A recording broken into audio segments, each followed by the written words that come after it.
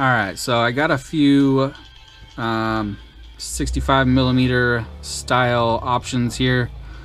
I'm going to talk a little bit about some of the parts that people are using or should use or going to use. Um, this here is a toothpick. I've shown them on my channel.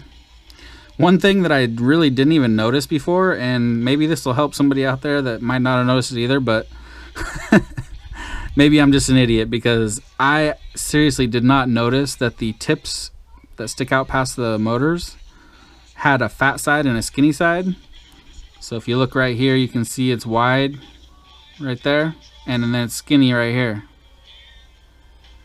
See the difference? So there's two of them that are fat and two skinny ones. So you want the fat ones up front to kind of protect from crashes. Skinny ones in the back. I did not know that before until somebody told me. I never even noticed it. I actually built one of these with the fat parts on the side. and I had to move it around. So yeah, be careful of that if you didn't know or if you're not smart. um, this is the G GEPRC 12 amp flight controller. Uh, so obviously on the toothpick you would have to put it upside down so the USB is sticking up. So then you have all of your pads that you need to solder to on the bottom. So you're going to have to solder everything up before you put it onto the frame. Uh, let me pull these motor plugs off and we'll take this thing off of here. I really like to use um, wire cutters for removing these plugs. It just makes it so easy. Because since there's like a scoop there, you can just grab onto underneath both sides and just pull up so easily. See how easy that is? Okay, so I'm sure you already watched the uh, review videos that Nick did and whoever else did. I only saw Nick's so far. Pretty funny. Um, so yeah, you have all your pads right here. I mean, your receiver is getting soldered up here. Um, your video in and out and power for your VTX and or camera. Um, there is only one 5 volt. You got one for the receiver, but you don't want to mix them up. So um, most likely what you're going to do is power your VTX right here and then run your camera power off your VTX. Most people these days, if they have the money, are going to be using the Unify Pro 32 most likely and the uh, Runcam Nano 2 or Ran Nano Racer like this one. This is the Racer. So yeah, it's perfect because it's 5 volts and the Pro 32 takes 5 volts in and has a 5 volt out, so it works out great. Um, you also have a T1 that would be for your uh, smart audio. And uh, the receiver I thought was on UART2. There's only two UARTs. Um, I'm I thought the RC pad was UART2, but I do see a R2 and a T2 right here. So I'm thinking that that must be the inverted pad, and then if you're running Crossfire, you would run it off the R2 and T2 right there. So UART2 is for the receiver. There's your little DSM pads that you would solder together, probably to make this uninverted, the RC pad. Um, and then your smart audio would be T1, and that's probably yeah, that's the best way to go right there. Then you got your in and out, and then 5 volt and ground. So it's just very simple, very, very simple, and works with, you know, almost all, every receiver. No pads on this side. So after you get that stuff soldered up, I mean, you could just solder up your VTX right here, run the wires out, solder up your receiver wires, run them out to the side or whatever. Then you can stick it on to the frame and mount it and go from there. Um, so I was showing those other canopies like this one. This is the pickle frame. And I was really hoping to be able to, let me take this off here, to use uh, the GPRC or whatever flight controller the right side up.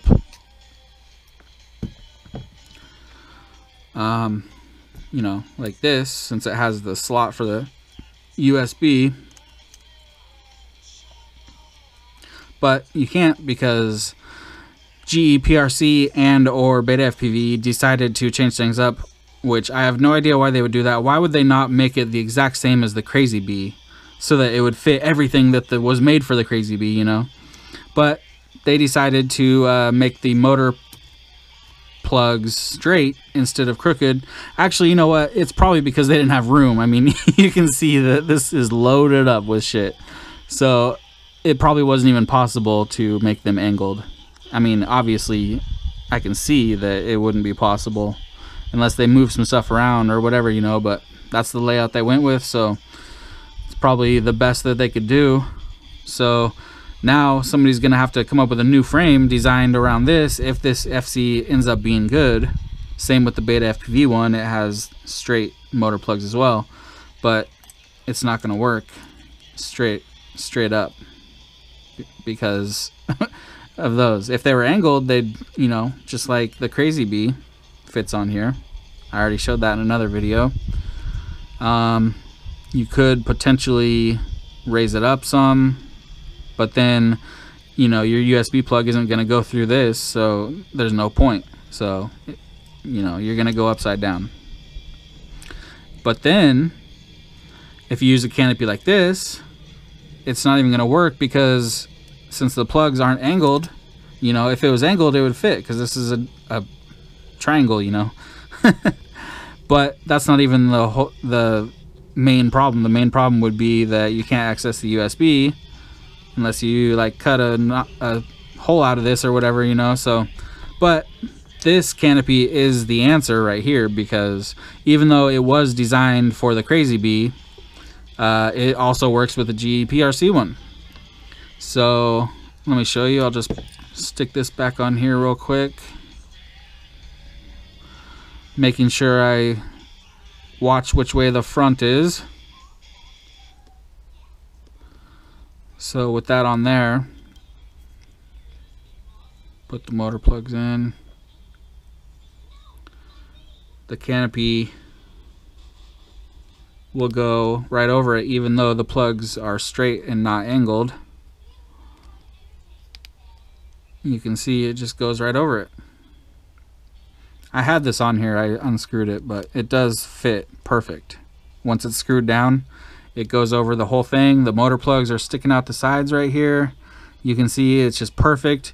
You got the back open for the access to the USB right there.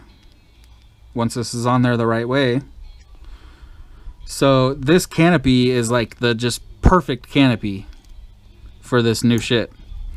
It fits the uh, Runcam Racer and the Nano 2 or any 14 millimeter wide. Uh, you know, the EOS 2 is probably the only other one. Um, it has little things to run your receiver antennas through. They look really small, so they might not fit the newer style, shorter antennas that FrSky has been putting on their XM Pluses and XM and RXSR because those are a little bit thicker but they might fit.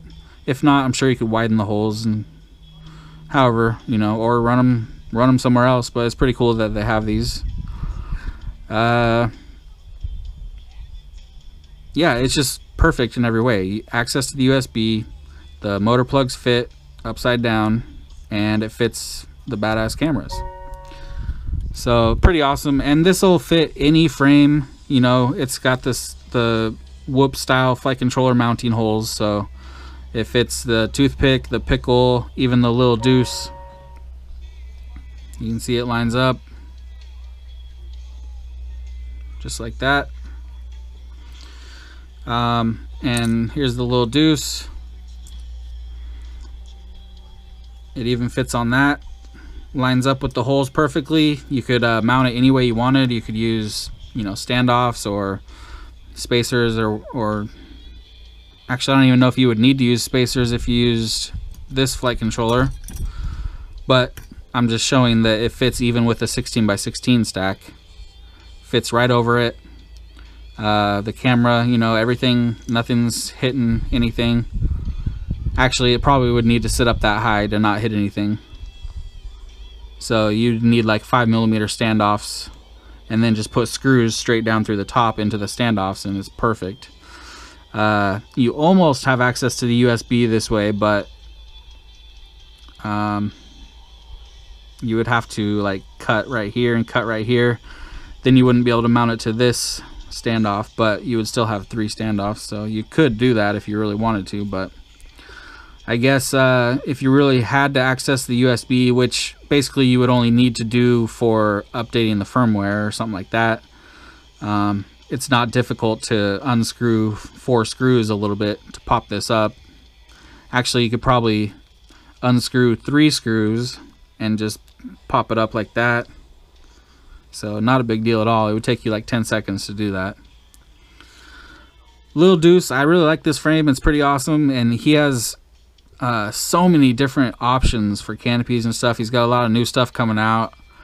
Uh, make sure you check out Lil Deuce, lildeuce.com, because uh, he's got some cool shit. This is uh, not my first time seeing this frame. I I have uh, built a couple other ones before, but I think they might have been earlier versions or something. I don't know, but um, things are always changing, you know. Uh, if anybody's wondering, this is that braided mesh stuff, and it's one eighth inch size. Uh, the size that I usually use on like a five inch quad would be uh, like six millimeter. I'm not sure what that is in inches. It might be quarter inch, something like that. Yeah, this is eighth inch. Actually, I think the the six millimeter is three eighths inch. I don't actually. Let me check real quick. If we went six millimeters, battery's dying on this thing, and push inch. Yeah, it's a almost a quarter inch. Okay. So yeah, eighth inch for this stuff though. It's super tiny, not too hard to put on the wires. Kind of a pain, but I think it looks pretty cool. So yeah, um, I'll have some videos coming. I'll have some footage of this camera, although there's already reviews of it online. Um, but I will get some. And I'll show how I fit the Pro 32 and an XM Plus up under this canopy inside the toothpick. And I'll show uh, the canopy that I'm using for this one. I don't have it yet, but it's coming. Got a pickle being built. Um, with the AMAX motors, uh, the GPRC board. Uh, I'm not sure what else. The Nano 2. But I don't know. I think I'm going to use this canopy actually. Yeah, this canopy is going to go on here. So yeah, stay tuned for that stuff. And uh, let me know if you have any questions. All right, thanks.